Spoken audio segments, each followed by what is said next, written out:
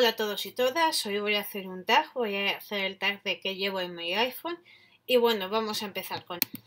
Bueno, yo en mi iPhone tengo como cuatro pestañas eh, o cuatro pantallas, os las voy enseñando. La primera de todas es esta. Como veis tengo la aplicación de mi cámara. A ver, ahí se ve bien. Arriba del todo a la izquierda la podéis ver. Luego tengo la aplicación del reloj con la alarma. Tengo Instagram. Para los que no lo sepáis, aunque está abajo en mis redes sociales, mi Instagram, si lo logro poner, es Soraya Nueva. Yo soy esta. Bueno, otra de las aplicaciones que tengo también es Twitter. También soy Soraya Nueva. Lo voy a poner aunque aparezca Montserrat, ahí veis que soy arroba Soraya9. Soraya9, perdón. Bueno, otra de las aplicaciones es una que venía con el móvil, que es Salud, que te calcula los pasos, la distancia que se han dado, los pisos subidos, como veis está lo de hoy.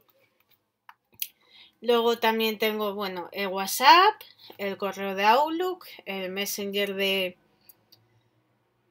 Messenger de me salda de Facebook y abajo ves mensajes, una aplicación que venía del tiempo, Sticky, que es para notas, es una aplicación que me he bajado que es muy fácil de utilizar, que es se puede ver ahí.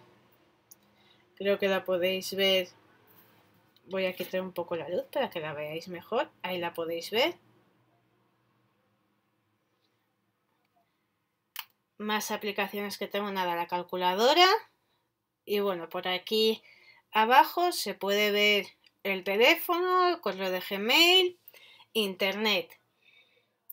La siguiente pantalla, voy a probar a ver si quitando un poquito menos la luz se ve, ahí. Creo que lo podéis ver ahí. Mapas, nada de Google Maps, tengo el App Store, tengo Facebook, tengo el Skype, que lo uso muchísimo, tengo el Uber Reminder, este de aquí, es una aplicación para grabar la voz. Luego tengo también el Wallapop, la segunda aplicación, que es una aplicación de compra y venta. Si en mano, tengo la opción Buscar amigos, que es para ver en qué lugar están tus amigos. Luego está Buscar iPhone, que es la típica eh, aplicación para buscar el móvil.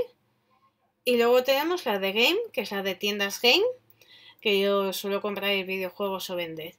Luego tenemos a ver, ajustes, las fotos, luego tenemos esta aplicación que si le damos es para ver el metro, el bus y el cercanías en Madrid. Yo suelo ir bastante a Madrid, entonces esta aplicación la tiene, lo tiene todo y se llama Madrid MBC. Luego el calendario y luego por último tenemos todo esto que es el iTunes aquí, luego unas cuantas pantallas con extras que bueno, son la brújula, a ver si lo podéis ver ahí, consejos, bolsa, que esas son las que no uso.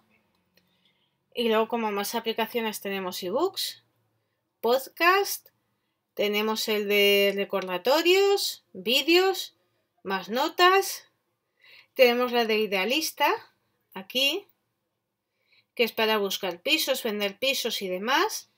Luego tenemos el Spyco, que es una aplicación muy buena, que os dan descuentos, os dan eh, cosas gratis, dos por unos, en diferentes sitios de restauración, de ocio, museos, spas y demás, en todos los sitios de toda España.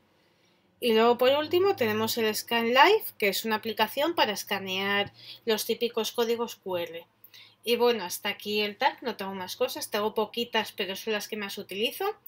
Hasta aquí el tag, como siempre espero que os haya gustado y le des a me gusta, suscribáis a mi canal y lo compartáis en todas vuestras redes sociales y muchísimas gracias por estar ahí.